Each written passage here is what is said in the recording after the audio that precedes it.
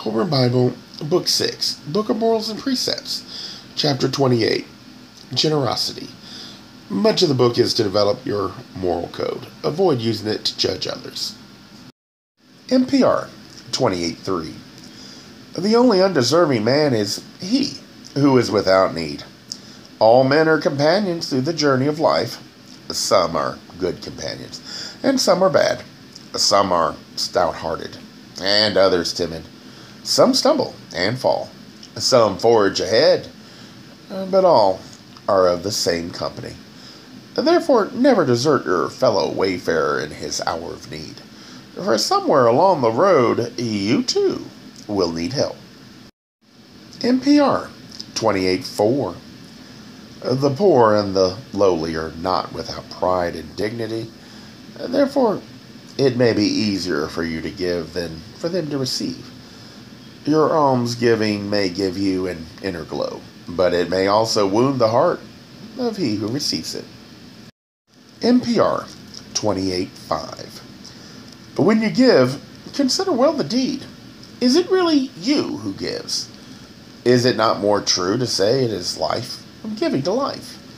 A transfer from one guardian of life to another. What are you but the instrument, the witness, the agent of the transaction? NPR 28.6 You are the debtor of life, for has it not given you all you have? If there be among men one who has received nothing from life, then let him be the one who refuses to give. NPR 28.7 The good giver gives and thereafter does not remember the gift. The receiver, if he be worthy, never forgets it. We should remember wealth and material possessions are not what this implies. It might be an aid to deal with it, however. Too often, that's all we do throw money at it, or worse, demand others do it. You should be aware also that often what a person needs are not going to be what they want. You should be strong enough to understand God must teach humility.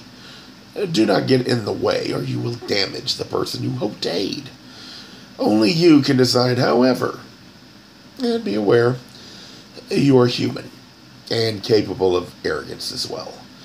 Make sure the need is based on what is best for them, not an attempt to coerce them to do what you think is right. Free will should never be crushed, only tamed. So, what is in the best interest of the individual might not be in your desire or want for that individual. Free will is a gift uh, with many strings. Responsibility is never easy, but to be unaware of your impact on the individual means you failed the test God set before you when they came for your aid.